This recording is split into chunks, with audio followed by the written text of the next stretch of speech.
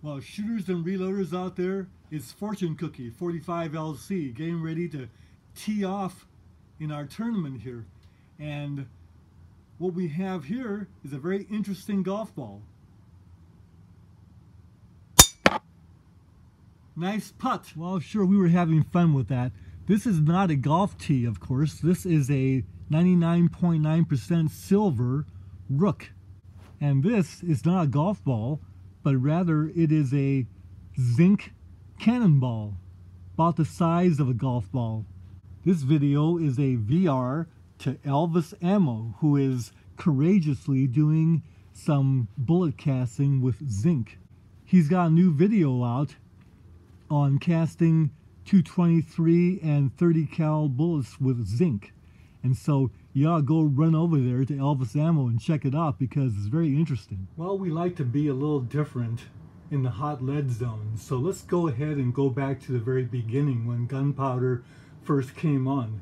And the tendency to use something simple like round river rocks uh, was tried for a bullet and it was hard to get the right size, uh, oftentimes too small for the uh, smooth bore that was being used. So it didn't work that well. And when it did work, when you found the right size, uh, it, there wasn't enough weight to really carry very far or carry accuracy or this kind of thing. The lighter the uh, rock was, the more it would, would just veer off course. So rocks weren't very good. Well, next iron was tried because iron is very plentiful in the Earth's crust. So it's easy to find, cheap, and the technology for working with iron was set because it was done with blast furnaces or blast type of bellows type of thing where you could get the temperature up to 3000 degrees because iron melts at 2800 degrees. One of the problems with iron is the high melting point. So it's harder to melt, but it's easy to work. Once it's melted, you could pound it, roll it, you could shape it, and get the uh, size and, and shape of a bullet. And the round ball was very simple. So the early cannonballs were made of iron. And the hardness of the iron being over 200 on the Brinell hardness scale, that didn't matter because it was shot through a smoothbore and the iron cannonballs were smaller than the bore anyway, so it just rolled down the, the barrel. And the black powder drove it out. Now the density of iron is 7.8 grams per cubic centimeter, which is not as dense as lead or some of the other metals we're going to talk about, but it's dense enough to use for a projectile. And it was heavy enough that it would fly fairly straight to the target within the confines of the accuracy of the times. Now, even though iron could be made into bullets for us to shoot today, and in fact we have steel jacketed ammo, we have steel shotgun slugs, this kind of thing, for reloaders, iron is not very workable. We can't cast it ourselves, practically speaking. Well, someday we may have to use a lathe to turn our bullets, but iron being the Brinell hardness that it is would be a little bit tougher on our rifling and uh, would probably wear out our bores uh, fairly quickly. Even soft iron would be a little bit of a problem, although it could be done. Now gold. Gold would be a very good material for bullets because it's very dense. It's twice as dense as lead and over twice as dense as iron. It's at 19 grams per cubic centimeter. Now the Brinell hardness of gold is 188 on the megapascal scale. So that is less hard than iron, of course. But it's soft enough to use for a bullet metal. Now one of the problems of gold is the melting point is 1947 degrees. But if you alloy the gold with other metals like silver, you can actually bring the melting point down into the 900 degree the top end 900 degree range. So we could actually cast with gold. But the problem with gold is this high cost, not practical for bullet material. Although if we had to make bullets out of gold, we could. And it's soft enough not to be overly wearing on our, our gun barrels. Now, silver.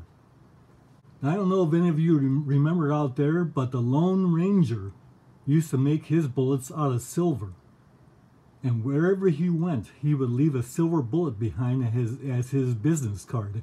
Well, look at that masked man. He left behind this silver bullet. Well, let's look at silver as a possible bullet or projectile material. The density is just like lead. Density is 10 and a half grams per cubic millimeter, whereas lead is at 11. Now the Brinell hardness of silver is 200 on the megapascal scale, and lead is 38 plus on that scale. So silver is six times harder than lead, and that is a disadvantage. So we might get some more barrel wear, but it could still be used. It will shoot down a gun barrel and obturate and this kind of thing with a little bit more wear to our rifling. Now the melting point of silver is a problem though. It's 1763 degrees. So you're looking at high temperature to do the casting. But we could de definitely cast silver. The casting could be done with a direct propane torch onto our ladle. And once it was melted, keep that heat up there and pour it into the mold. And the mold's got to be hot too, or the metal will never get in. Once made, our bullets would be shooting very similar to our lead, except for the hardness so they'd be hard to size. Now, a metal that you've heard about because they're using it for some bullets and they're using it in some shot shell shot applications, and that is bismuth. Now, bismuth is a very interesting metal. It melts at 520 degrees, which is actually a lower melting point than lead, which makes it very easy for us to melt. We can melt it over our propane burners, we could melt it with our bottom draw pots, this kind of thing. Bismuth is used in the overhead fire extinguishers that are on the ceilings. And what happens is when a fire occurs, the flame temperature melts the bismuth that's stopping the water flow. And when the bismuth melts, the water just gushes out and puts the fire out. So bismuth is very handy in that regard. Now, the thing about bismuth is that it's BHN 70 on the megapascal scale, which means that it is twice as hard as lead, and that's not too bad. So it can be used to shoot easily in shotgun pellets or shotgun shot, and it could be used in bullets, like 22 caliber bullets could be made out of bismuth, and the hardness could be compensated for by careful fitting. Now, the density of bismuth is almost identical to lead. It is 10 on the grams per cubic millimeter. And lead is at 11, so that's very similar in density. So this behaves just like lead, with a little bit more hardness. We could definitely cast our bullets with bismuth, but the cost is a factor.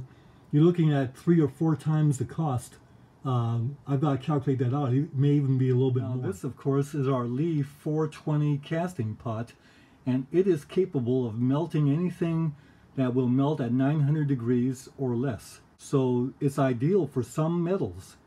Lead is the predominantly design feature for this casting pot, but it will melt things such as bismuth and also the zinc very easy to melt with this unit. Now if you do melt zinc with this, the pot will have to be a designated pot for zinc only and you might want to bore out the little drain hole so that the flow is stronger to allow easier mold filling.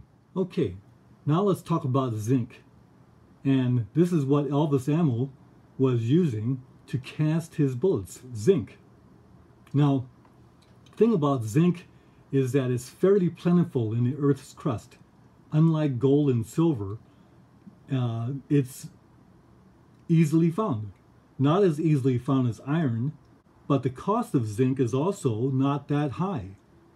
So it's a practical material in that regard for making bullets. Now, as we know, the zinc melts at 787 degrees Fahrenheit, which makes it a danger to get into our lead alloys that melt at 620. If it gets into our lead alloys, zinc ruins lead alloys for casting. But all by itself, zinc is very important for shooters because it is oftentimes alloyed with copper and nickel to make brass.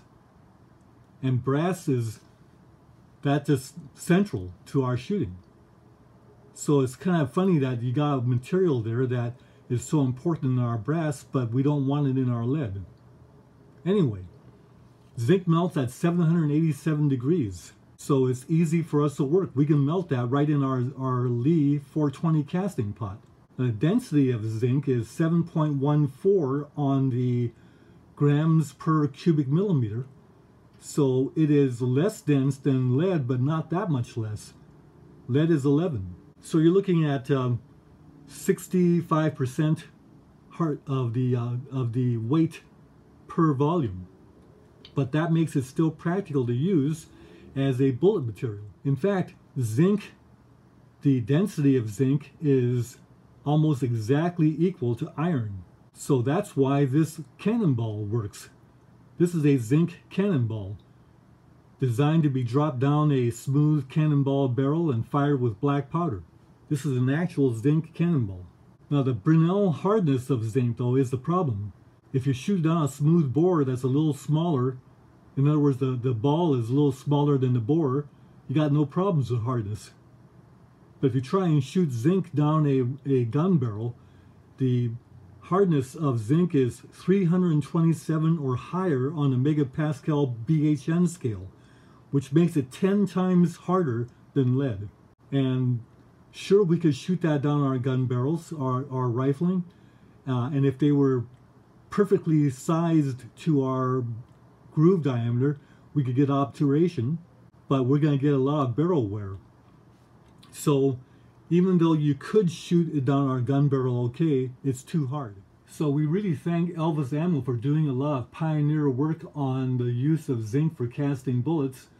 And his conclusions are very valuable, and that is they're difficult, it's difficult to cast bullets out of zinc. We're going to use a lot of time and effort to get the output and also we need to be very careful about the hardness of zinc so that as Elvis was saying the small driving bands and multiple grooves would be the way to go because that's the way to get around the hardness of zinc to shoot down our gun barrels and not wear out our gun barrels too quickly so bearing surface is very important we want less bearing surface with zinc bullets if we're going to go that way. Now zinc for our shotgun slugs would be a slam dunk. We would use it in a smaller diameter than our bore and then put it into a shot cup to make up the difference and the hardness then would not be a problem. But we don't want to shoot through a full choke for sure or our full choke will be damaged by shooting these kind of things through it. So when you get right down to it, we come right back to our lead.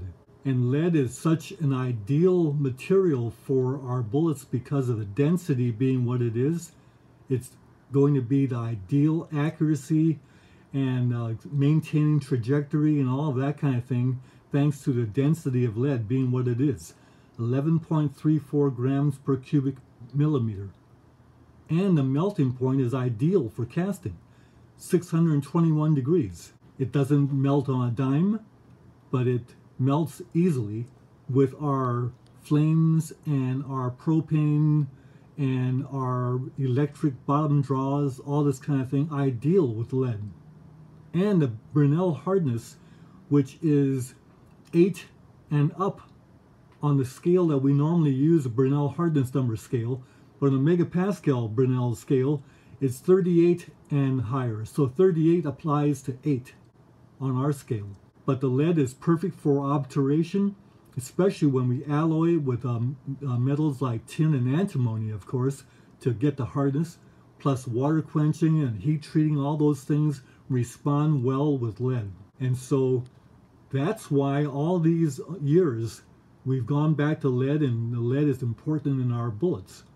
We might try and find substitutes, but substitutes will not be as good So in spite of all the substitutes that are available for our bullets, we come back to the lead as being ideal. Shooters and reloaders out there, Best to you and have a nice day. Bye for now.